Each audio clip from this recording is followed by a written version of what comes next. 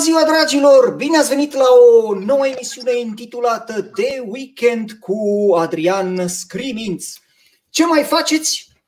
Vă macină curiozitatea să știți ce am făcut săptămâna trecută la cea de-a opta ediție. E, dacă vă spun, o să vă pară rău. O să vă pară rău pentru că m-ați ratat. Pentru că am avut una dintre cele mai proeminente fanfare, fanfara lui Goran Bregovici de Transilvania, de România, pentru că bietul om aici cu ei colaborează. Fanfara Transilvania cu sediul la Cugir. Ne-au bucurat, dar ne-au și întristat. Ne-au bucurat pentru că ne-au trimis niște materiale video fenomenale, am dansat, am cântat, dar ne-au și întristat pentru că managerul lor, Nicolae Gălan, a zis Adriane, știi și tu cum e treaba, eu sunt un privilegiat al sorții, sunt, sunt un instrumentist al Filarmonicii Galați, am câțiva colegi care și ei lucrează pentru anumite instituții culturale, dar ce mă fac cu ceilalți șapte, opt oameni pe care i-am în spate și care de o viață întreagă cântă? Și astea sunt meserii vocaționale, nu se pot reprofila. Zice, știi și tu cum e treaba, că lucrezi în teatru, faci balet de mic copil, cânți la un instrument de mic copil, cânți cu vocea de mic copil, unde să-i trimit pe oamenii ăștia? Cândva luam premii internaționale, participam și conlucram cu case cinematografice, aveam premii peste premii, participam la sindrofii, la corporate, la zile ale localității. Uite că mă întristez. Mă întristez în faza incipientă a emisiunii. Dar zei mi-au trimis în cale un om perseverent care, așa ca un bun oracol ce sunt, o să ne împace și o să ne spună că Europa își revine la cap România își revine la normal. La fel se întâmplă și cu Brașovul. Și dacă aduc aminte de Brașov, în urmă cu două luni a fost decretat ca cel mai frumos oraș al României, în urma unui sondaj național, 40.000 de nominalizări. La jumătatea drumului vine Clujul cu 20.000 de nominalizări, ulterior Sibiul, iar Transilvania este Fruncea, că pe locul 4 vine Iașu și celelalte orașe. Dar la înfrumusețarea acestui oraș au dus aportul întreagă comunitate, edilii și echipele, echipele edililor. Atenție, ca om de teatru, niciodată nu pomenești echipa. Artiștii ăștia nu mai, ies, nu mai ei ies la înaintare, nu mai ei vor să fie celebri, că nu-i mai satură Dumnezeu de atâta celebritate. Pomeniți, dragilor, și de, și de cei de la lumini, de mașiniști, de portari, de fochiști, că fochiștii pun lemne pe foc ca nouă să ne fie bine și să, devin, să devenim celebri. Am să fac transcendența cu invitatul uh, emisiunii, am să pun un scurt videoclip pentru că și dumnealui și-a dus aportul și rolul la înfrumusețarea acestui oraș. Vizionare plăcută!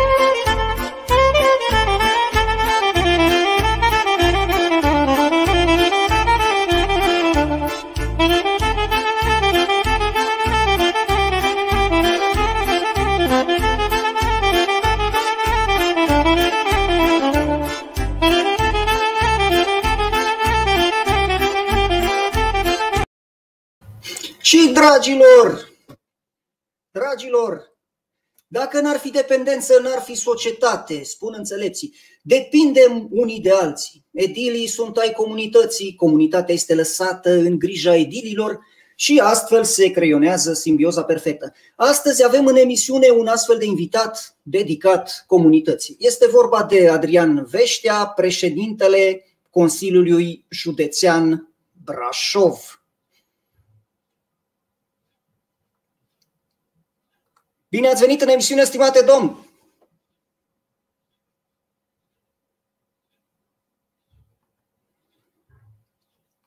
Mici probleme, mici probleme, nu ne auzim.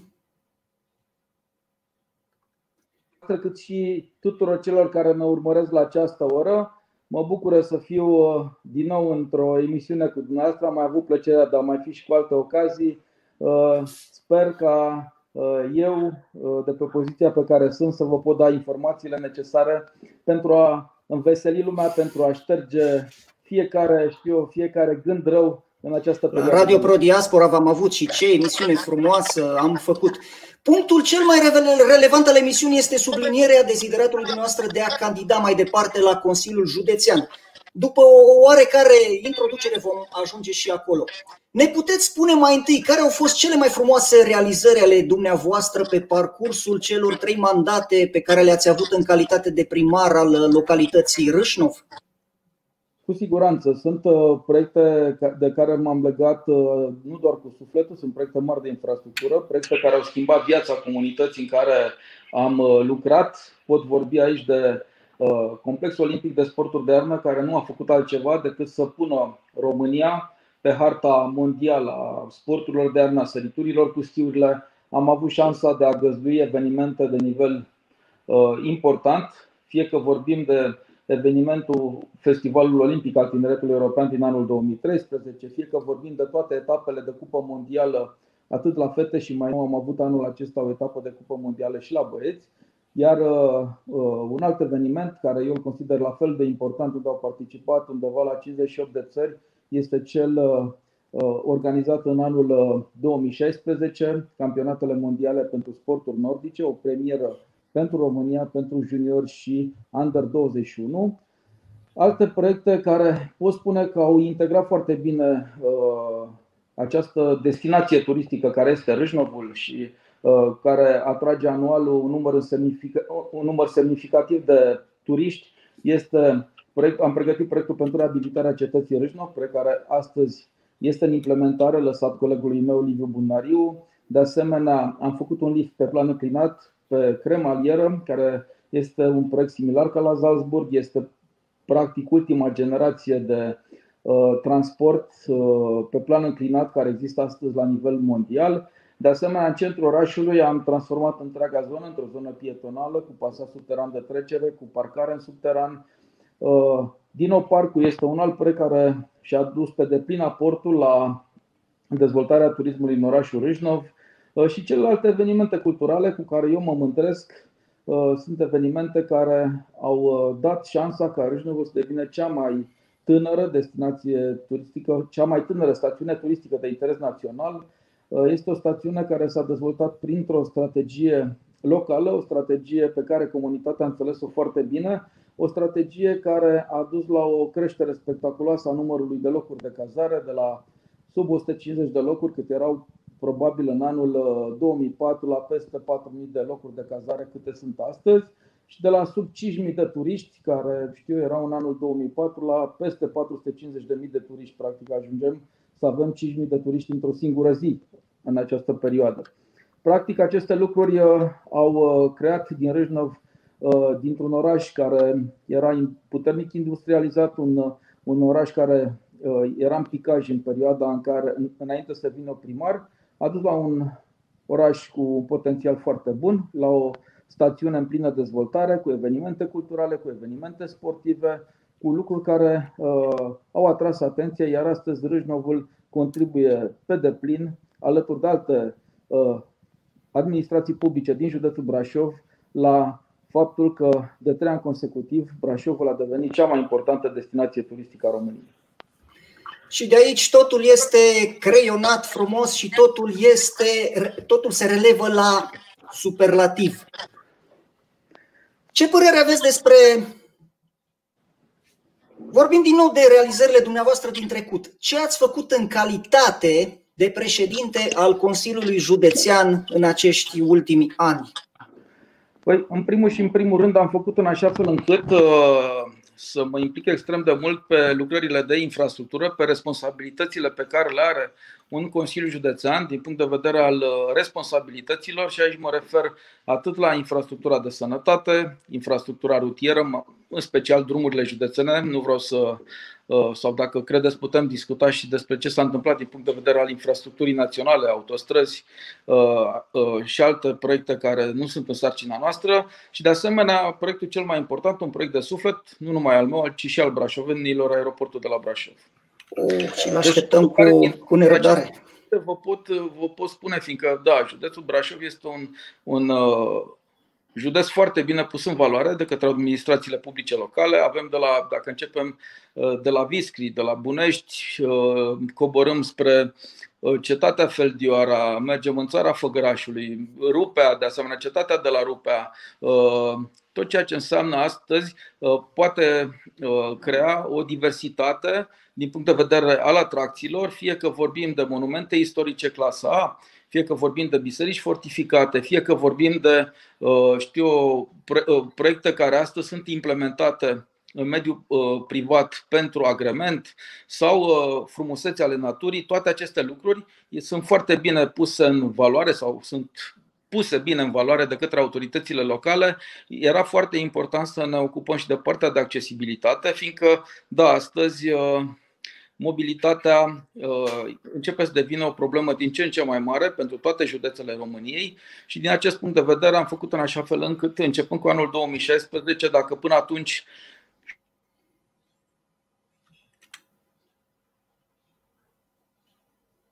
județul Brașov nu accesase nici măcar un leu din fonduri europene, se dezvoltă foarte bine, am accesat peste 300 de milioane de lei, construim 100 de kilometri de drum nou Uh, de drumuri uh, reabilitate capital, poduri, podețe, uh, doar din fonduri europene avem peste 200 de milioane de lei astăzi în implementare pe Programul Național de Dezvoltare Locală. Avem de asemenea proiecte care le derulăm prin, prin bugetare din partea Consiliului Județean Brașov.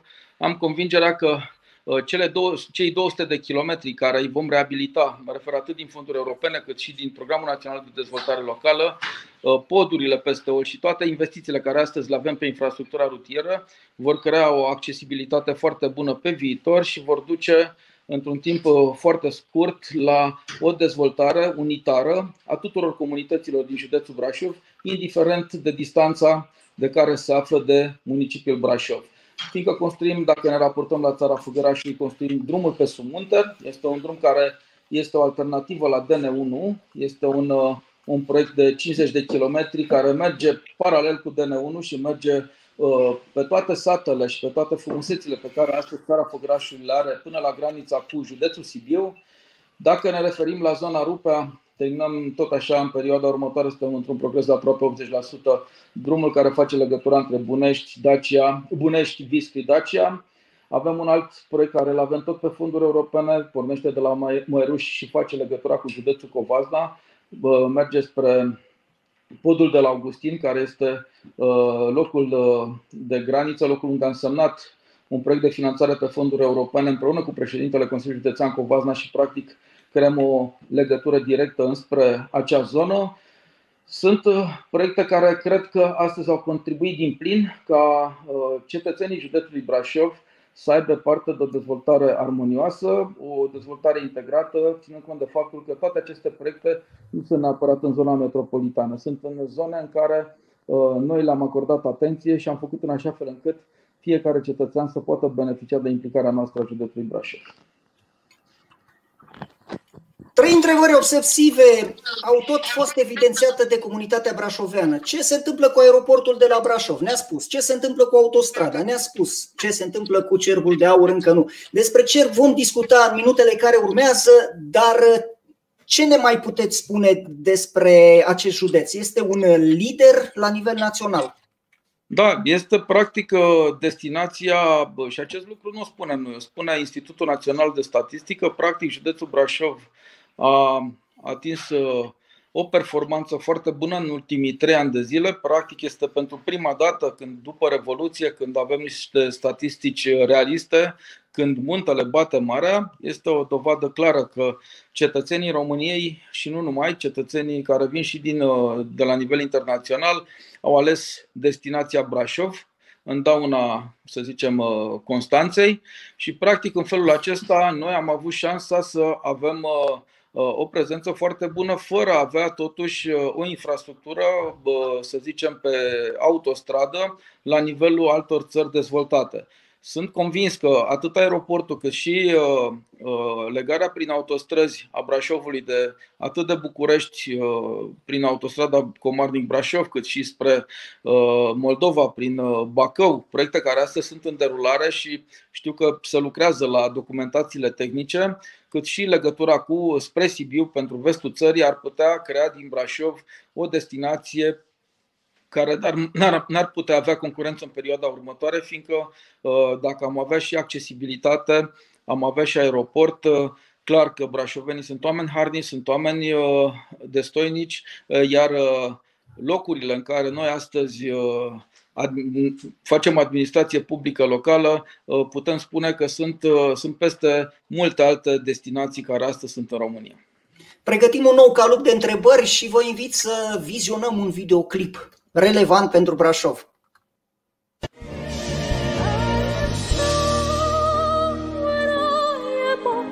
Brașov!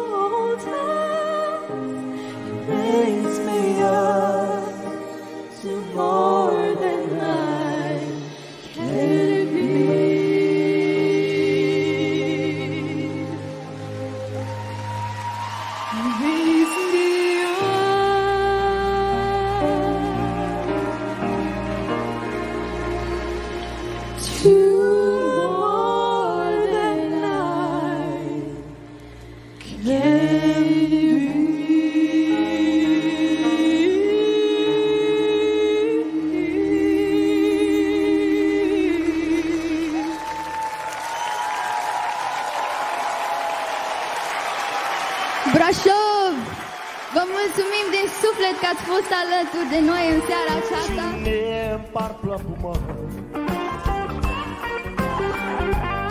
Cine poate să-mi răspundă? L-aș plăti într-o secundă Secundă din viața mea. Și ca bron vă spun așa Dar cine stă la masa mea yeah și bea o cafea fierbinte Nu știi dacă azi e sinceră sau dacă minți ai vrea să îi citești minte Dar știe cum să facă să te facă de te simte. O lacrimă pe obraz și cu rujul cel mai roșu de zici că-ți face necaz Că noaptea asta arată senzațional Cu părul portocaliu ca o lata lui Van Hal. Și parcă e altă femeie și parcă simți că o să ți se facă cheie. Că ești cu ea de mult și asta te sucește Dar zic eu ea e doamna și tu mereu ai fost ce părere aveți despre resuscitarea festivalului Cerbul de Aur? Da, este un eveniment, uh, un eveniment extrem de important, nu numai pentru noi, pentru brașoveni, este un eveniment pentru România unul dintre evenimentele extrem de longevive, unul dintre evenimentele care ne-a încântat extrem de mult în perioada comunistă. Iar uh, Festivalul Cerbul de Aur este unul dintre brandurile Brașovului și în ceea ce mă privește pe mine voi face în așa fel încât uh, din poziția în care voi fi, fie că vorbim de președinte de Consiliu Județean sau de persoană care voi ocupa alte funcții la nivel, uh, știu eu, parlamentar sau guvernamental, voi face în așa fel încât acest eveniment să fie susținut, fiindcă este un uh, eveniment al românilor, este un eveniment în care, uh, aș putea spune, au fost lansate, au fost, s-au lansat foarte mulți interpreți de muzică ușoară, nu doar din România, ci și la nivel internațional și cred că acest eveniment trebuie dus mai departe. Vor exista tot timpul fel și fel de voci, să, nu, să nu-i numesc cârcotași, fiindcă suntem într-o zi de weekend în care trebuie să fim uh, veseli și zâmbitori, dar sunt fel și fel de opinii. Oamenii uh, încep să aibă, să guste cu totul alte lucruri, dar eu cred că acest lucru pentru segmentul de public care îl are este un eveniment extrem de important și face parte din identitatea noastră a brașovenilor. O întrebare mai intimă. Din fotografiile postate de dumneavoastră în spațiul virtual rezultă indubitabil că sunteți un tată deosebit de mândru de cei doi fii ai săi. Cum îmbrățișează tineretul acest festival? Ce ați auzit de la ei? Că doar așa putem verifica dacă are sau nu viitor. Uh, să știți că uh, totul se creează prin educație. Dacă stau să mă raportez la cei doi copii ai mei, uh, faptul că i-am dus la Cerbul de Aur, faptul că au avut șansa să meargă aproape în fiecare seară și să participe chiar și la seara de gală, i-am văzut extrem de încântați, sunt veseli, sunt fericiți, au Uh, mers poate la început destul de rezervați, neștiind uh, uh, ce le este dat să li se întâmple, dar am văzut un entuziasm și un interes din partea lor încât își doreau să meargă în fiecare zi a festivalului, deși practic de cele mai multe ori poate nu dispuneam de, de bilete sau nu aveam posibilitatea să am o atenție doar și să-i supraveghez pe ei, dar i-am văzut foarte fericiți și alături de ei am văzut și pe alți prieteni de-ai lor, cel puțin când au venit Carla, Carla's Dreams, uh, a trebuit să stau la cozi, să le iau autografe, erau foarte fericiți și uh, lucrul acesta m-a bucurat, fiindcă festivalul este foarte bine adaptat. Dacă stăm să ne uităm la modul la care uh, s-a implicat televiziunea română în ultimii ani, practic a făcut un, o retrospectivă a tot ceea ce s-a întâmplat în trecut și uh, clar s-a ajuns la performanțele de astăzi a muzicii uh, ușoare. Am avut de fiecare dată invitați și pe vecinii noștri din uh, Republica și frații noștri din Republica Moldova cu ansamblu, ansamblurile de la Chișinău Lucru care m-a bucurat extrem de mult, fiindcă s-a demonstrat încă o dată că noi avem o identitate comună, uh, avem foarte mulți oameni talentați și dincolo de prot și cred că farmecul nostru al românilor uh, uh, ar fi mult mai sărac dacă nu am fi prezentat și acele lucruri care se întâmplă în Republica Moldova. Astfel de mega festivaluri organizate în județ, Cerbul de Aur, Oktoberfest, Sărbătoarea Junilor, Festivalul de Rock, ne întoarcem, de rock de la Râșnov, Festivalurile Naționale de Muzică pentru Copii și Tineret, ajută la creșterea produsului intern brut? Ajută cu siguranță, fiindcă, da, o destinație turistică, în primul și în primul rând, trebuie să fie o destinație cu activități uh, multiple, cu activități cât mai complexe, atât din punct de vedere cultural, cât și din punct de vedere al uh, evenimentelor sportive pe care noi le desfășurăm, uh, clar, de acum încolo Brașovul uh, va trebui să aibă o, o altă abordare uh, atâta vreme cât vom reuși să finalizăm și să construim o sală polivalentă, să avem, știu, un nou stadion care să pe care să se poată desfășura atât activități culturale cât și activități sportive. Lucrurile acestea care țin de infrastructură sunt obligatorii, iar Uh, județul Brașov cu siguranță va descoperi noi și noi evenimente, atât culturale cât și sportive, fiindcă nu trebuie uitat un lucru. Județul Brașov astăzi depune, uh, dispune și suntem cam singurii din România Uh, poate chiar și din Europa de sud-est, să zic așa, care dispunem de niște condiții foarte bune pentru organizarea evenimentelor uh, pentru sporturile de iarnă. Noi ne-am depus candidatura și pentru 2024 uh, și vom avea perseverența de a ne depune și pentru 2028 pentru organizarea Jocurilor Olimpice de Tineret, o etapă superioară față de Festivalul Olimpic al Tineretului European, fiindcă aici am început să formăm foarte mulți foarte mulți uh, oameni care sunt specializați uh, pe diverse competiții sportive de iarnă, fie că vorbim de arbitri, fie că vorbim de antrenori. Începem să avem din ce în ce mai mulți participanți din rândul tinerilor, ca și sportivi la aceste discipline sportive.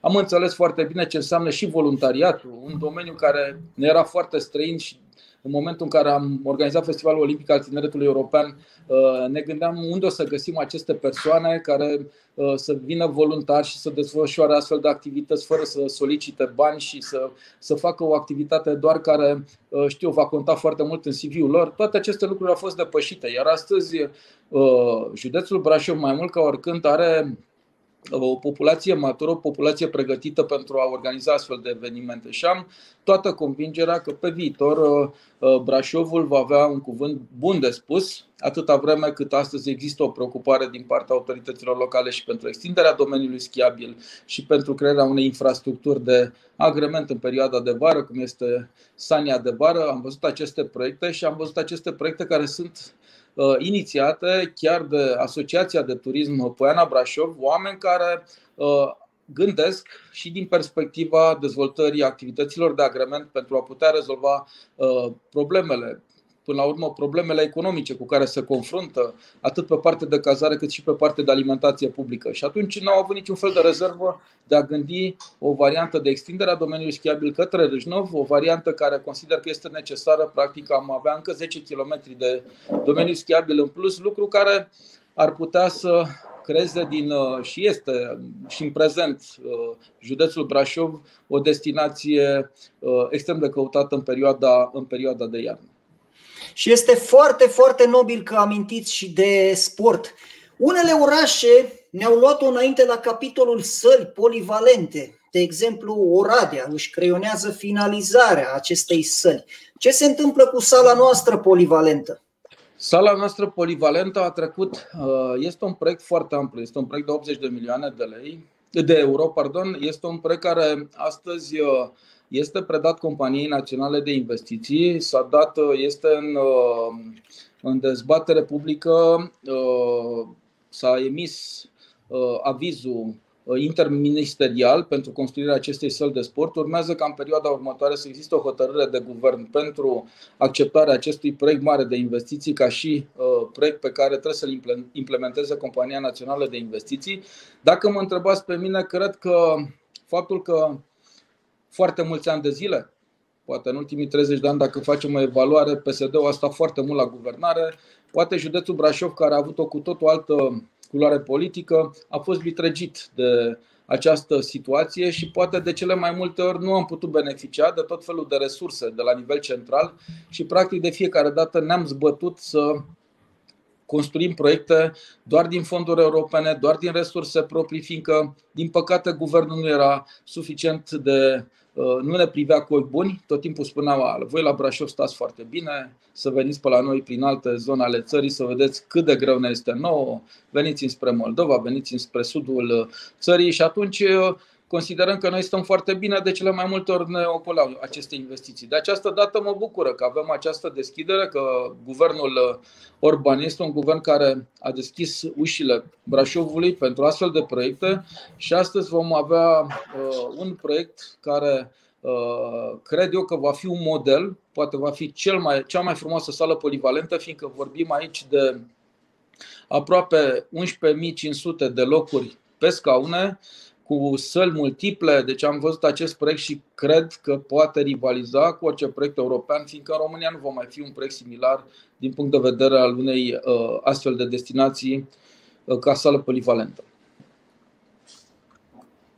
Punctul cel mai relevant al emisiunii este sublinierea dezideratului dumneavoastră de a candida mai departe la Consiliul Județean. Spuneți-ne, care vă este platforma electorală? Da, pe practic ă, este o obligație, fiindcă foarte mulți m-au văzut în alte poziții, se așteptau ca să îmbrățișez o cu tot o altă carieră. Este știut faptul că vin după trei mandate de primar. Ă, astăzi am un mandat de președinte al Consiliului Județean, iar obligația mea este ca toate aceste proiecte care astăzi ă, sunt în implementare și în principal obiectivul cel mai important, aeroportul de la, de la Brașov, să devină funcțional. Este construim un aeroport după anul 1000, primul aeroport de la zero după anul 1974. Avem o infrastructură care are un progres foarte bun. Sper ca până la finele acestui an să ajungem într-un progres din punct de vedere al uh, finanțării de aproape 90%, din punct de vedere al infrastructurii ceea ce ne dă speranța că anul viitor, de pe aeroportul de la Brașov, în cazul în care nu vor apărea situații neprevăzute și nu văd de ce ar trebui să apară, ar trebui să fim contemporan cu primul zbor de pe acest aeroport. Practic am construit un terminal de 12.000 de metri pătrați, al treilea ca dimensiune după, după București și Cluj. Avem un obiectiv care poate rivaliza în această vreme cu orice aeroport din România, fiindcă am cumpărat și în interiorul acestui terminal echipamente echipamente de ultimă generație, vorbim atât echipamente de securitate cât și alte echipamente pe care astăzi uh, uh, sunt în uh, implementare la nivelul terminalului. Da, va fi un aeroport modern, ultramodern. Da, va fi un aeroport modern. Avem uh, proiecte care astăzi le-am dezvoltat atât din fonduri europene cât și din proiecte din uh, uh, bani de la Guvernul României prin intermediul Băncii Mondiale, dar am aplicat inclusiv pe Compania Națională de Investiții și am făcut în așa fel încât din resursele care le-am avut la dispoziție să acordăm o atenție maximă sistemului sanitar. Uh, trebuie știu faptul că uh, în aceste zile am uh, inaugurat o secție de terapie intensivă pe care am construit-o de la zero.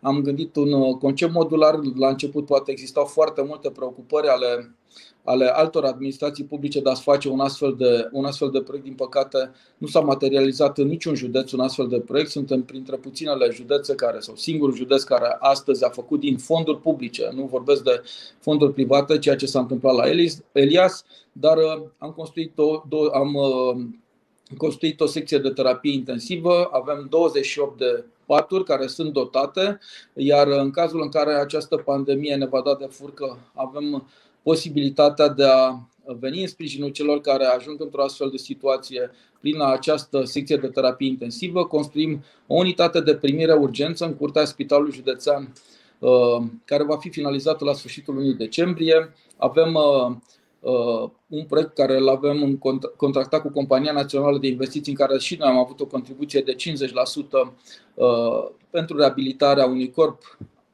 al Spitalului Județean. Deja am reabilitat 5 etaje, suntem la parter și mai avem partea de subsol.